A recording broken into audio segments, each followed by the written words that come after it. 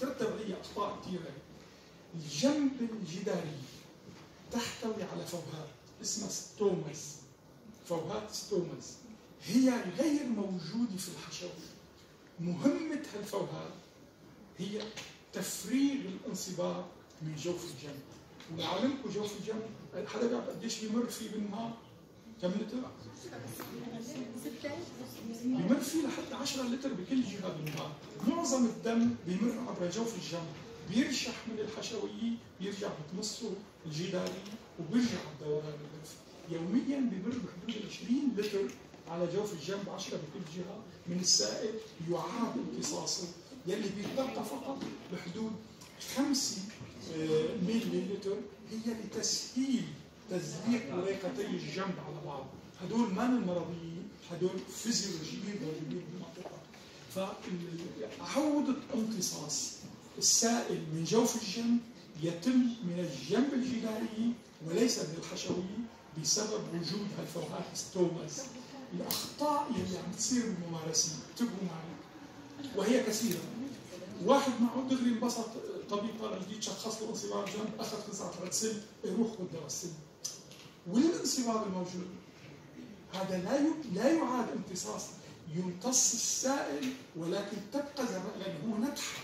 هو في بروتين كثير بده يكون بروتين أكثر من ثلاثة. ذرات البروتين يلي موجودة بالنتحة ال exudate. نحن في أخذتونا هدول ال exudate. ال transudate ال transudate هو يلي بصير بمرضى القلب قصور القلب هذا سائل يعاد امتصاصه. ولا يجوز بزله أما ال exudate اللي فيه بروتين عالي ذرات البروتين رجاء انتبهوا هي أكبر قطرة من ال stomas الفتحات يلي موجودة بالجنب الجداري وبالتالي لا يعاد امتصاصها. فأنت إذا تركتها صحيح بلشت تعالج تدرن بس حولت المريض لذات جنب محجر أو ذات جنب مزمن وهكذا حتى بذات الرئة العادية. واحد معه ذات رئة غالبا بتترافق بالانسباب جنب. أيضا هو اكسدين نتحه في بروتين. يجب أن يفرغ. مثل ما حكينا بالخراجات الصدر تصريف مع مضادات حيوية. هون معالجة نوعية هي درنية ولا التهابية ولا غيره مع تصريف بذل للسائل وإلا سيتحول إلى ذات جنب انتبهوا لهذا الموضوع رجاء. النقطة الثالثة هي الغازات، الغازات يعاد امتصاصها، واحد صار عنده غازات الاكسجين من الجنبين.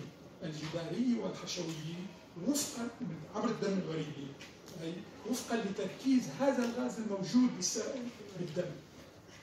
فأيضا يعاد امتصاصها ابدأ بأول موضوع هو أورام الجنب البدئيه يلي بس نحكي ورم جنب إما نقول ورم جنب بدئي أو نقول عنه ميزيتيليوما وال mesothelioma نفسها إذا إما أن نقول malignant pleural mesothelioma أو حتى بس مجرد diffuse يعني ال diffuse هي المنتشره وبالتالي تغني ما بنقول diffuse malignant إما diffuse mesothelioma أو malignant mesothelioma فهي diffuse رديف فقط بهذا الورم بهذا الورم بال mesothelioma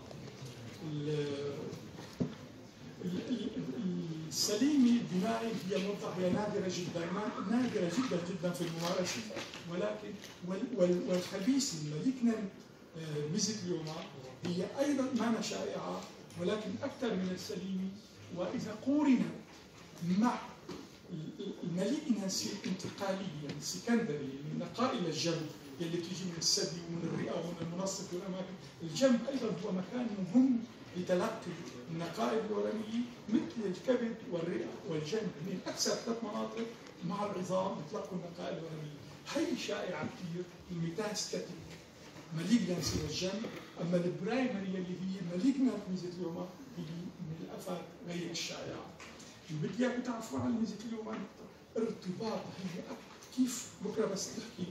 ما فيك تحكي عن عن سرطان الرئة إذا حكيت عن تدخين لأنه سن واحد سبب مؤكد له ما فيك تحكي عن سرطان المريء إلا إذا حكينا عن مريء بارد عن القلس اللي عنده المريء الميزه اليوم لسه أكثر.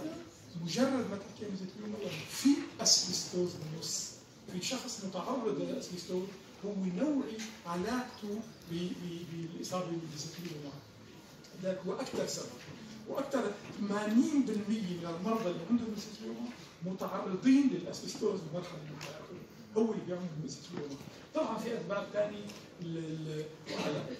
كثر عن الأورام بشكل عام وعم نقارنها معالجات شعاعيه، المعالجات الشعاعيه أيضا تسبب الميزيتيوما والآفات المزمنة بشكل عام آه، هي بتعمل الموضوع.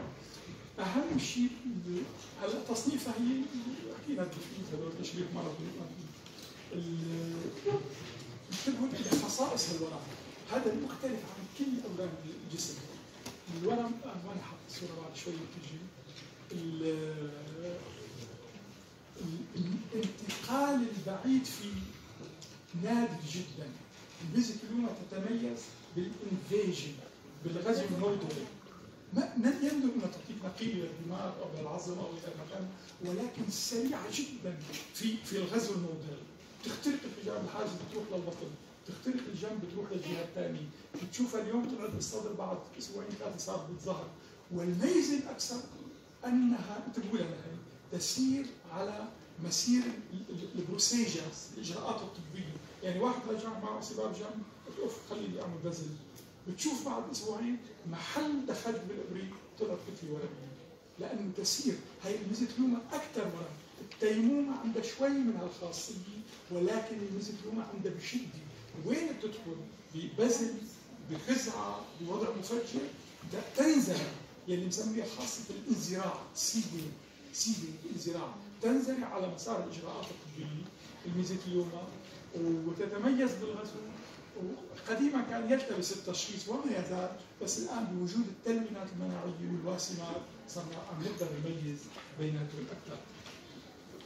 كنت شغال بال بس كان برجع لهذا بفرجيكم الميزيتليوما هي غير الأورام، الأورام بيبدأ عندك بؤره بالثدي مثلا 2 ميلي بتكبر 2 سم ل 10 سم بالرئة بتبدأ من كل الأورام تبدأ بؤره وتكبر. ما عدا الميزيتليوما تبدأ بشكل متعدد.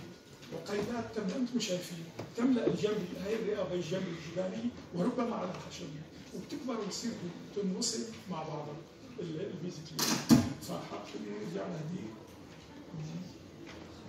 تظاهرات السريريه ثلاثة أكثر شيء لأنه هي وين عم تجي؟ على الجنب الجداري وبالتالي شو؟ الالم المرعب. أكثر سرطان عند الإنسان بيعمل الم على الإطلاق. هو الميزيتليوما هو الشكوى للغايه اللي بتصير فيه. وتزداد مع تقدم الآفي. ليش؟ لأنه هي في أيوه. في خاصيه ثانية عم تغذي فبتصير تكتني في الأعصاب الوردية. وقتها ما عاد في مسكن حتى المخدرات تسكن الألم أكثر مرض مرعب من حيث اثاره الألم المرضي. النقطة الثانية انصباب الغزير الناكس، مو بس انصباب الغزير وناكس، بتفرغوا اليوم برجعوا بتفرغوا انصباب ناكس ولكن ميزته عكس الأول يتناقص مع تقدم المرض. ليش؟ لأنه بتعبى جوف الجنب بالكتلة. ما عاد في كتلة لحتى تجمع سائل. فالانصباب يتناقص كميته مع تقدم الآفي عكس الألم اللي بتزيد مع تقدم الآفي. والزل التنفسي طبعا المترقي لأنه المريض عم يخسر آه، كل شوي جزء من رئته. العرض الاساسي شعاعيا هو الانصباب ممكن يوصل الانصباب هالشكل الكبير اللي شايفينه نصف صدر زليل ممكن يكون حتى مع التأمل هي نحن عندنا القلب على الطبق المحوري آه هذا القلب وهذا اللي حوله سائل انصباب مع انصباب جنب الجهة الثانية. آه بالمناسبة أنا من اللي كان درس معكم يوم الاثنين الأحد. لأنه كان عندنا مؤتمر بالجامعة فكلفت الدكتور أنا بعتذر بس يعني كنت مجبر كان لازم بداية الدرس تكون مع تقدم الألف شعاعيا يتناقص هي علامه كثير مهمة. تناقص حجم الساحه الرئويه قارنوا الجهة اليسار مع اليمين. نصف الحجم بسبب نمو كتله الميزيتليوما اللي شايفينها على كل جدار الصدر. شايفين؟